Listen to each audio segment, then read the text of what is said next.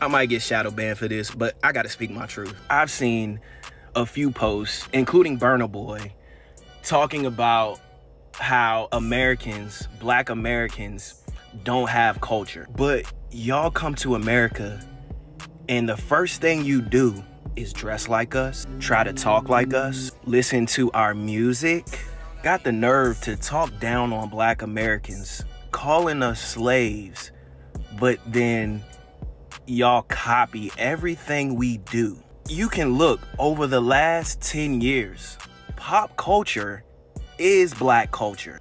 We've ran it all from movies, music, TV, fashion, the list goes on. So next time you come on here or any social media platform talking about black Americans don't have no culture, just look at yourself. Just look at who you listen to, you know? Even Afro beats is a mixture of reggae and hip hop with a little bit of soca, which is just another form of reggae. Like Burna Boy said, all that dressed in Timberlands and baggy jeans. And y'all turn around and get mad when we are claiming American and not African heritage. When a lot of our black American ancestors were actually here in America always and have always been here. And even then, we aren't denying our African heritage that we do have. But the special thing about us is y'all represent one tribe from y'all's place, wherever y'all from, whether it be African, Jamaican, Caribbean. Guess what? The black American is thousands and thousands of tribes in one. Do y'all understand how magical that is?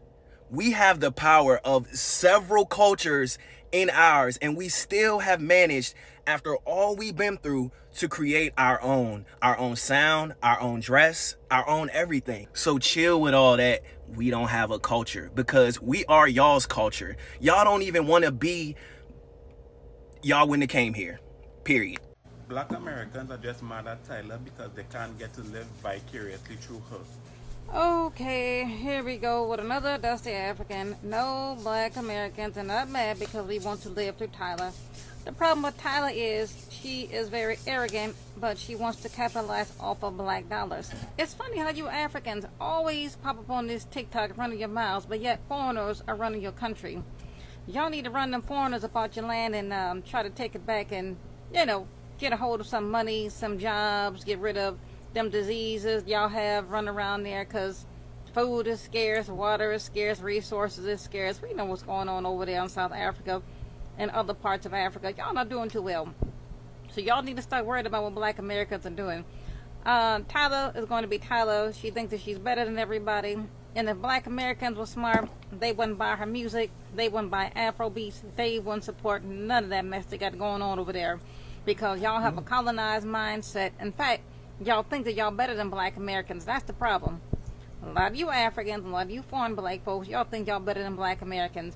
Nobody's trying to live through Tyla. If she wants to be colored, let her be colored. Last time I checked, when I look up where the colored people live, um, it's the slums where the rest of the regular black folks live. Only difference between that, they just live in a biracial slum. So they walking around like they better than. And I said, y'all still treated like dirt. Y'all still treated like garbage over there in South Africa. So you can keep quiet. Uh, feisty black, and I'm out. Next! African Americans get irritated at Myron from Fresh and Fit for the same reason why they get irritated at Tyler, who says, I'm colored. They don't like challenger continental Africans who come from the continent, go to the West, do well, and challenge their monopoly over the black voice in the world. To me, you said y'all are challengers and challenging black Americans and we don't like that y'all challenging us. Let me ask you a question. Why you won't challenge the white people in your country to take your land back? Like, why is it that y'all always want to challenge us?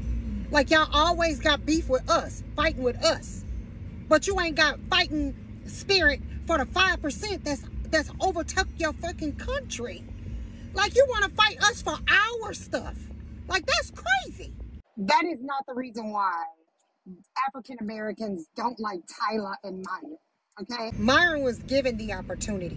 Be a black American and benefit from black American society to shit on the very society that you're fucking benefiting from. Like, and then say we don't like him because of that. Myron is a racist, misogynistic coon. And that's another one that we don't want to play in our face. Like, we're not going to have you playing in our face. Y'all Africans come over here and want to play in our face and undo everything that we've done for the benefit of what? So you can tap dance for white people? Stop. Tyler is catching it. it is because Tyler came to America to be successful. Hold on.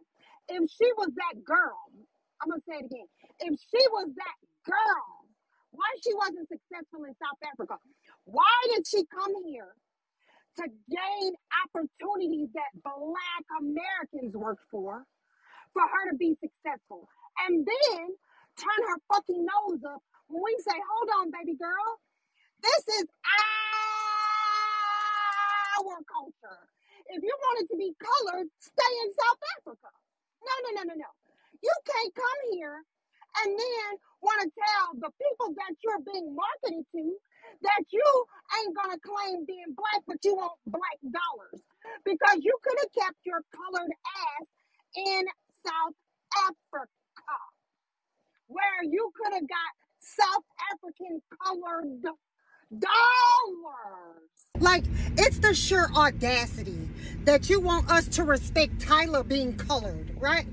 But you don't want to respect why we don't want her to call herself colored in America. Because if she calls herself colored in America, white folks is just waiting in the background for to be like, hi, they're colored. Look, the coloreds, the coloreds. And they're saying it in the derogatory way for, for jokes and cackles. Like, why is it that y'all won't listen to shit we say? Like, why is it so difficult for you to understand why it is that we give white people zero fucking air to breathe for the nonsense that y'all want to keep perpetuating? Talking about we won't give you the mic. We heard what Tyler has to say. She's a colored from South Africa that's benefiting, benefiting from being biracial. And so, because she's benefiting from apartheid, where she wants to be in a colorist society, and you want black people to participate in that shit. Look, we became successful because we stamped out that dumb shit. And we're not fixing to go backwards because she want to play in our face. If you want to play in our face, go be successful in South Africa.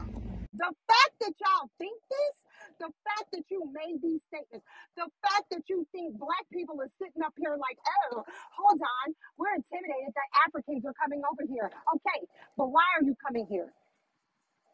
Why? White people ain't got the door open for you. So why are you coming here? Why? Why are you coming here? Yeah, to benefit from African Americans. Don't forget that.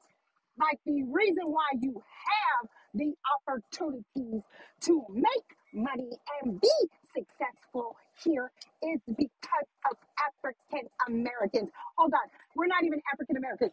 It's because of the Aboriginal Americans. Like, don't lose your head trying to make it seem like we're scared of y'all because we're not. And I need you to explain something to me. Why is it that you're trying to grab the mic over here? Hold on. Grab the mic in Africa. Why are you trying to grab the mic over here? You got all this big talk over here, but you can't talk that shit over there. See, that's your problem. You trying to come over here and run our shit. No, no, no. We don't need your assistance. We don't need your help. Go home and do that. Like, I'm not the type of person to be like, go back to the country you came from. But we, our, my ancestors established all this shit here for me to benefit and my children to benefit from. If you got all this shit to say, stay home. Like, if you got static with people and talking about, we done heard what you had to say about systemic racism. Guess what, my guy? When you come into America, you're not Sudanese. You're not Ghanaian. You're not Nigerian. Your ass is black. Falling into the African American category where you fall into systemic racism. That's the reason why we keep talking about it. Y'all want to swipe the shit under a rug because uh Apartheid happened 70 years ago. You're still suffering from it. Like the fact that y'all sitting up here thinking, well, it's not a big deal. It is a big deal. You're being discriminatory towards your people because they're not mixed with white. Like, that's the reason why black people don't play these games. One thing I want you to know is your skin don't make us kin. To my native black Americans, anytime you talk to anybody in this country, I don't care if they're brown, black, yellow, whatever, if they're not native Siberian Americans or native black Americans, chances are they came here in the 1900s, 1970s, or whatever. And they don't qualify to talk about American history because they don't know anything about American history. They came here 400, 500 years or more after your ancestors.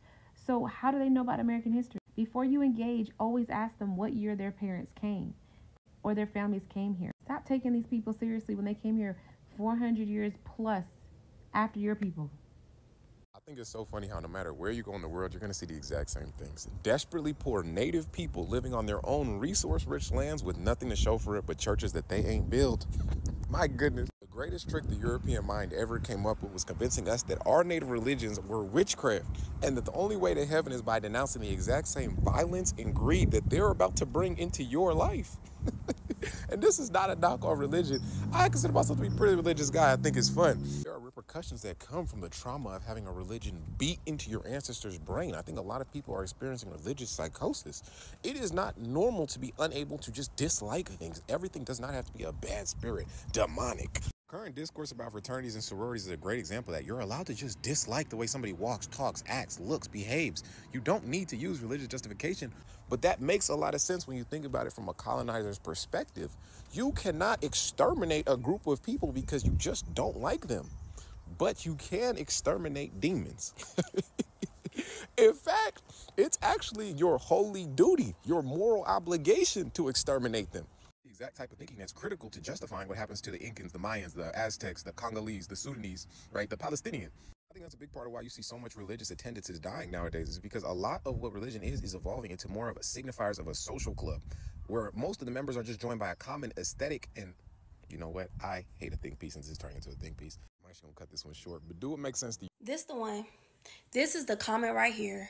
When I tell you the so called Christians have been the worst, you know what's so crazy? The crazy part is, is that Christians can somehow point out the devil and the enemy when it comes to things going wrong in their lives. That's when everybody got all the discernment in the world. That's when everybody can point out witches and warlocks and point out all the most satanic stuff. When it comes time to play the blame game, in their life and have to blame somebody and we're going to just blame it on the devil. That's when everybody got discernment. But when it comes to the world and the satanic agendas that is being pushed upon the world, and when it comes to how the devil is running rampant in the world, I mean, he's been running rampant in the world, but it's so many people are missing the plot.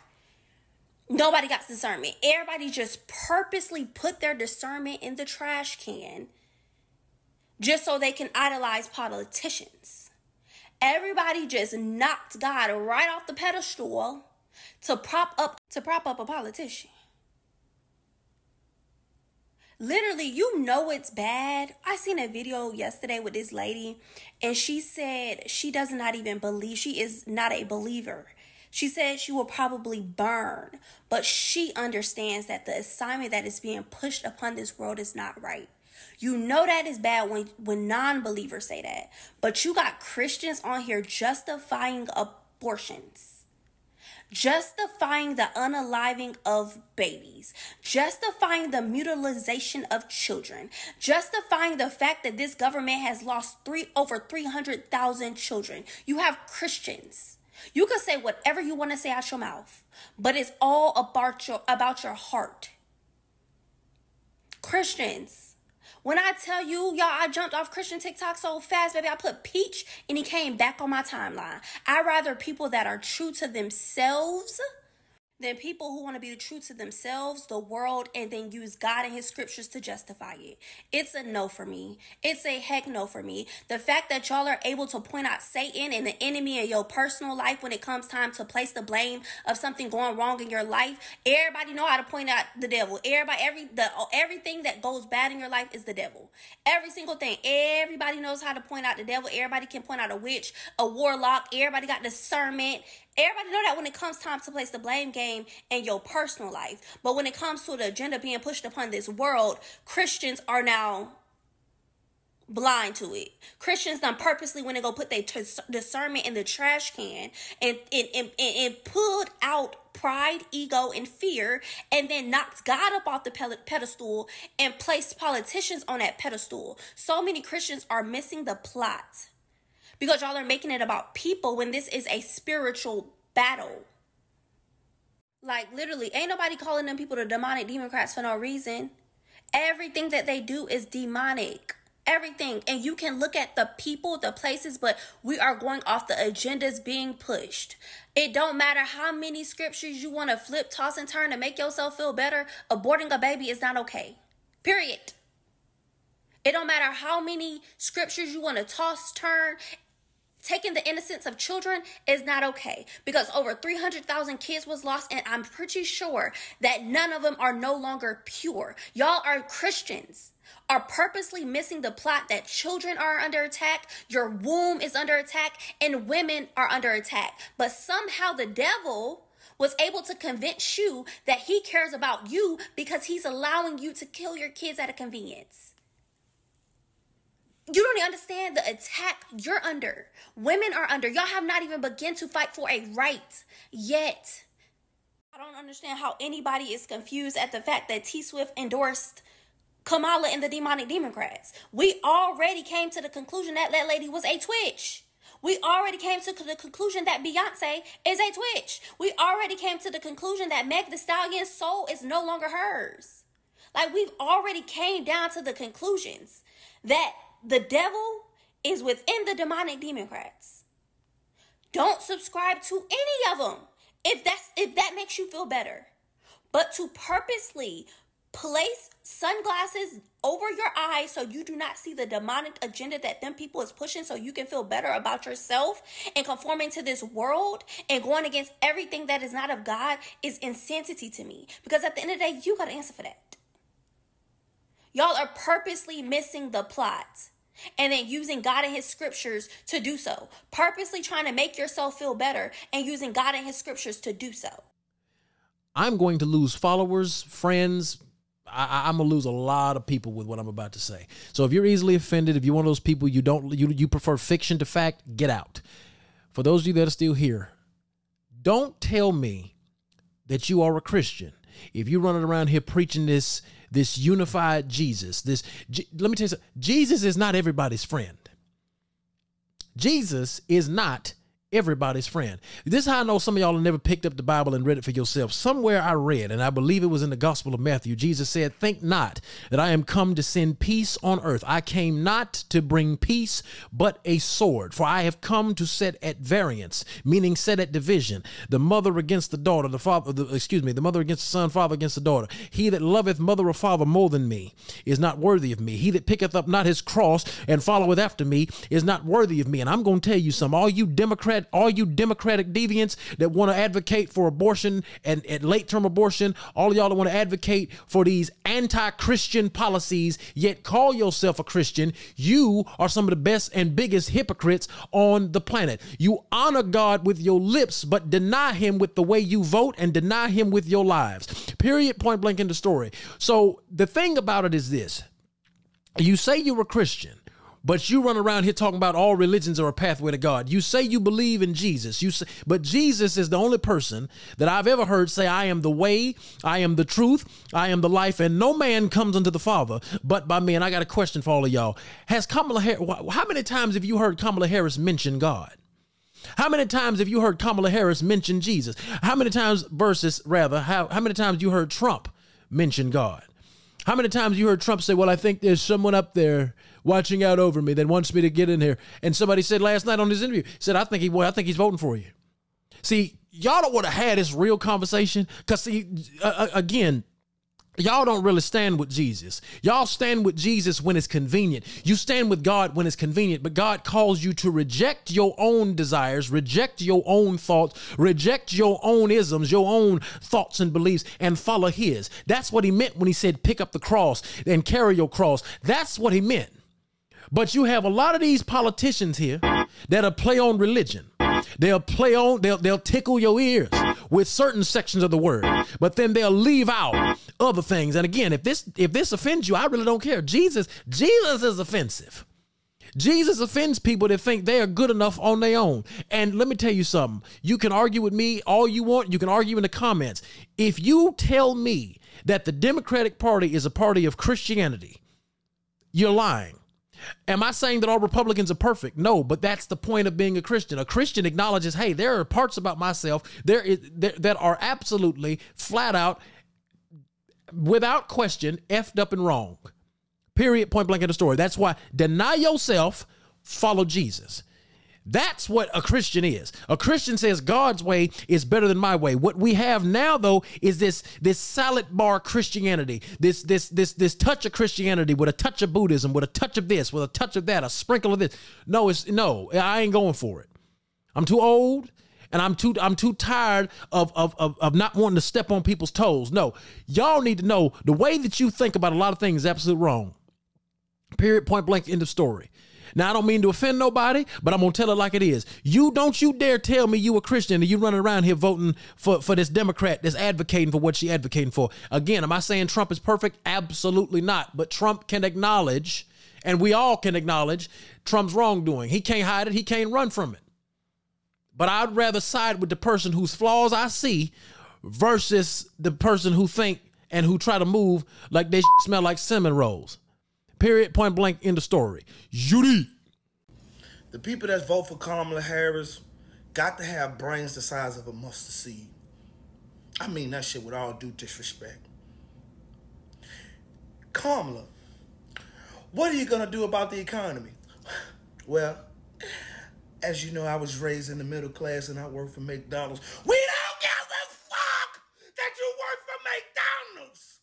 Nobody cares. You working at McDonald's in the 70s has nothing to do with nothing. She never answered one question. And she have real life NPCs marching in the comments. Ah, ah. Plies, put your hands up when you see me. Steve Harvey, put your hands up when you see me. We have nothing to go off of. And you telling me to vote. Rick is smiling. Don't wear glasses when you see me. All y'all got to really see me. This shit is getting pathetic, bro. She give you nothing, you vote for nothing, so you get nothing. It's that motherfucker simple. This bitch can't answer one question. So Kamala's team wins the award for America's top here. Damn. Apparently, they were tired of us asking for these policies to be made public so that we could actually read through them. Because as it appears, all they did was copy and paste Joe Biden's policies. And a user on Twitter literally was able to see because the metadata was the description for voting for Joe Biden. And in the internet world, when you go to search anything on the internet, you'll see a title for it, whether it be the web page or the name of an article or anything like that. Underneath that, you will find a description. That description is the metadata. And hers literally said, join our campaign to re-elect Joe Biden. this is like a new level of playing in everybody's faces, which is actually unfortunate because we are in September with an election in November. And if by now the Democratic Party doesn't recognize how imperative it is for them to reach people who are uncommitted, undecided, as a result of them voicing that they really need to see policies that are going to impact real change. And y'all can stop with the, well, if y'all don't vote for Kamala, then it's Trump. Cause they're, um, Jill Stein is still on ballots. Am I the only one that feel like talking to a Democrat is like talking to a Venezuelan or illegal criminal that's in our country right now? It's like no matter what you say or how you say it, they just don't get it. For example, I can say the American people are struggling. Credit card debt's at an all-time high. Inflation is at an all-time high. And their response will be, Oh, you need to work harder. You need to get a better job. It ain't our fault you struggling. Newsflash, I'm not talking about me personally. I have money, plenty of it. Over 40 accounts. I'm talking about us as a whole. Then all y'all say is Trump is racist. No, y'all are racist. Y'all are the only one that make racial comments and talk about race. No one else does that but y'all. Stop going by what that clown say and say how y'all really feel. Cause ain't no way you're an American citizen and you feel like everything's okay and they did a great job.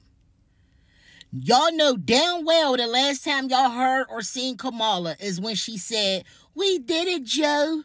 Fuck out my face. Regarding the presidential can- mm-hmm. candidacy, who do you think would be more beneficial for the black community, Miss oh. Harris Oh. or Mr. Trump? Now, this is my opinion. I'm about to get some people mad at me, but I think who would benefit black people more is most certainly, unequivocally, I say unashamedly, not even close, nowhere in the same universe, Mr. Trump. It's not even a conversation. Actually, if we're talking about who's going to benefit the black community more, we shouldn't bring her name up. Mr. Trump, absolutely. I don't know Mr. Trump. I just imagine if I met him, okay? And then I imagine if I met Miss Harris. Mm-hmm. I'm speaking to them on behalf of you. Okay, so we have real black excellence here hustling backward and you and what y'all want to do and the work you're doing in the community and what we have going on. And I'm speaking to them and I'm trying my best to get them to understand what the benefit is of what we're doing on black people specifically and as an extension, all people. When I think of that personally, me talking to these candidates, I don't get the sense that Miss Harris would feel what I'm saying. Mhm. I don't get the sense that she's a leader of men For sure. of a nation. Not that not that she it has nothing to do with her being a woman Right. because women can lead most surely. We don't we don't have a problem with women in leadership or women speaking. It's not a matter of her being a woman. It's simply a matter of within her I personally, it's my opinion, I don't get the sense that she would even desire or have the knowledge or the leadership ability to say, let's make that go. Let's fix that. Let's work that out. Mm-hmm, mm-hmm. Give me the freaking time when he said that. Because at the end of the day, all y'all do is put up a bunch of rhetoric online and don't know nothing. Of course, when I came for Trump and sunned him, give me some of that sunlight real quick. Man, so we're not keeping Trump, but we do have a lot of people spewing rhetoric that, oh, he's going to make us slaves. Trump's going to do all that stuff. He been in office. He would have did it. So no, we're not going to let people use the boogeyman tactic and scare us with what Trump going to do.